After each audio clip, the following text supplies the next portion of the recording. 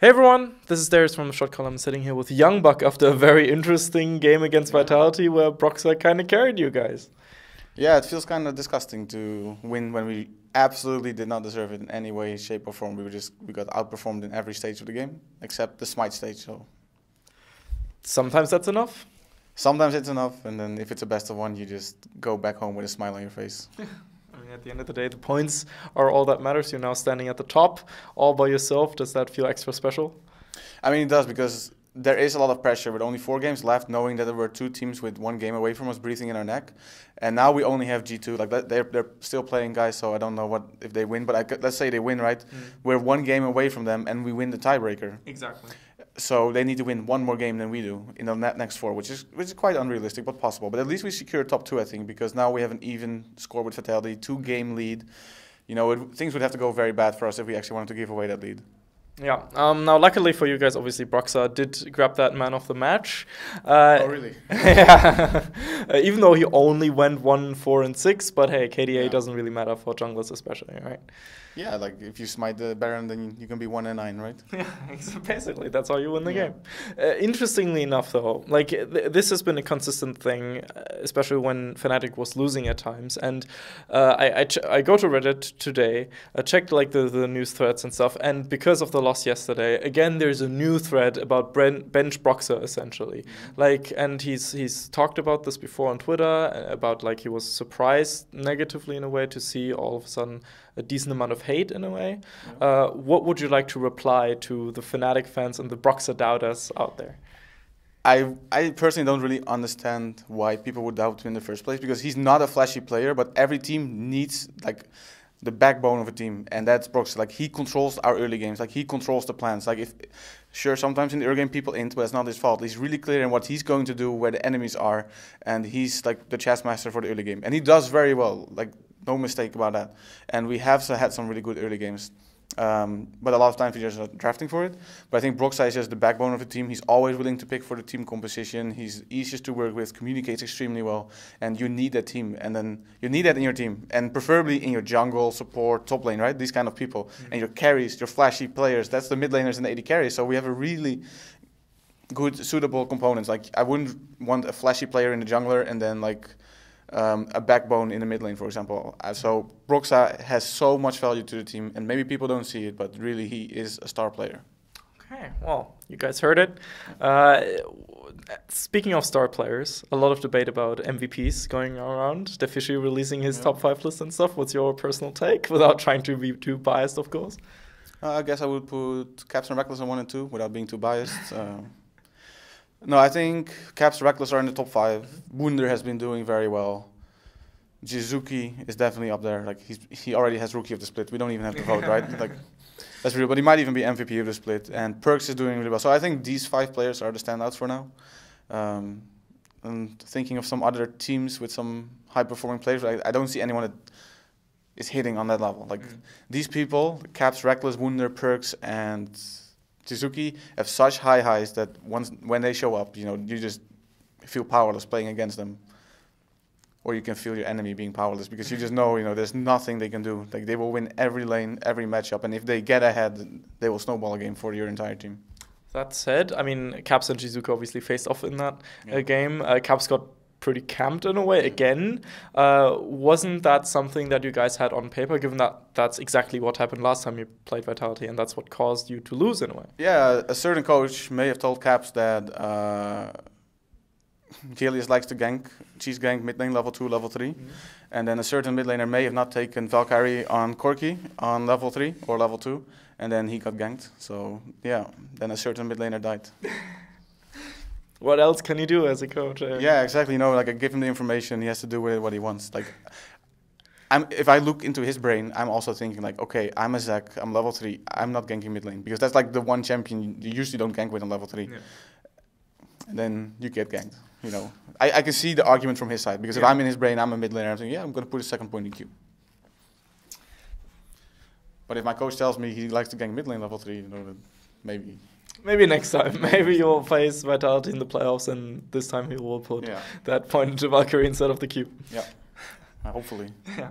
Uh, speaking of mid laners, uh, obviously 8.4 hit, uh, very high impact for mid laners specifically. All of a sudden, Misfits have been playing Anivia, and uh, you know Corki coming back into it as well because he can abuse tier essentially. Uh, what do you think of the the mid lane champion pools suspiciously getting wider? It gets a little bit wider, a little bit narrowed in the sense like I mean, Zoe is out, hmm. thank the gods, and now Ryze is even stronger than he was before. Azir is equally strong, a little bit stronger. Casio is making a bit of a comeback here and there, and then you still have the Galio, you still have the Corki. Like that's pretty much unchanged, but we're gonna see a few more counter matchup uh, counter picks like. Well, I was gonna say Anivia, but it's just not a good champion. Like they, I mean, fool me once, shame on you. Fool me twice, shame on me. But so.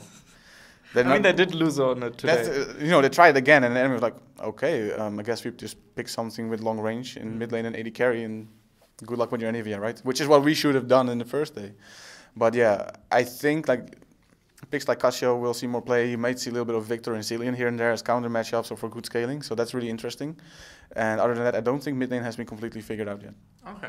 V- Viktor is interesting because I remember him being like at the start of the of the split, he was kind of viewed as like a complete trash tier mid laner. You know, Abdo saying he's like the, the worst mid laner there is, and that kind of stuff. And all of a sudden, after continuous buffs and item changes, of course, he's showing up again. Yeah, and because he has a few decent matches, like he's okay into Azir, he, he's okay into Galio and Ryze. Uh, if you build the right items, my lane likes to go call on Viktor, so you know.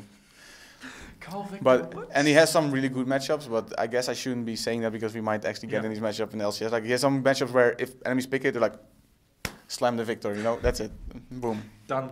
Yeah. Lane one, game one, easy. Yeah, pretty much. Because if you win your lane as Viktor, you know you're gonna outscale your enemy 99 out of 100 times. Okay, interesting.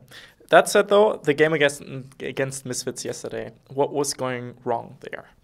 I forgot what. Oh, okay. So first of all, we messed up our draft. Okay. We were absolutely not prepared for Anivia. And then we're like, okay, I guess we can play Kassadin. We can maybe play Taliyah. They banned Kassadin and Taliyah. Um, yeah. And then we were like, okay, what do we play? We did. We really were not familiar with this pick at all Mm. because it didn't show up in the scrims. And we just let's resort back to our comfort, which is Corki. Like we were probably going to pick Corki any, anyway, maybe because it's just comfort. We're like, we play Viktor as a comfort, but it doesn't feel that right. Maybe Casio, but we just didn't have the right pick. And then later on, like we should not have picked Corki because they had Shen. That was the worst pick we could have done. Mm-hmm. But in the moment, that was just the comfort pick that we fell back on, Okay. just like today's game. So draft went very wrong, and then we put Caps in a matchup where he was going to get outscaled or equally scaled, but he lost pressure. And what went wrong is that a few times we called that the enemy was moving towards the lane that we wanted to engage on, but then the fight wasn't called off. So we're just fight 3v5, like a 3v4, knowing Anivia is coming, and we don't call that Shen has ult as well. Like, and then suddenly there's a surprise party waiting for you, you know. So it was just mostly communication, not being decisive and calling fights off early on. Okay, fair enough. Now that said, uh, Rekkles did put in insane performance at times, like Yeah. getting those picks, uh, and of course in the very final fight, he might have gone a bit too overboard trying to go for Hans, and he was just too protected by the likes of Shen, etc. So no chance to reach him there. Yeah, I I mean, he played perfectly for like 52 minutes and 51 seconds, and those last three seconds, yeah. what can you ask from an AD carry, you know, who played Yeah. perfectly for so long? Like, one mistake and the game is over. Yeah, but that said, he did put in an insane performance yesterday. He put in an insane performance today. Uh, again, I mean those uh, last fights, and especially like uh, after the, the the Elder Drake was stolen.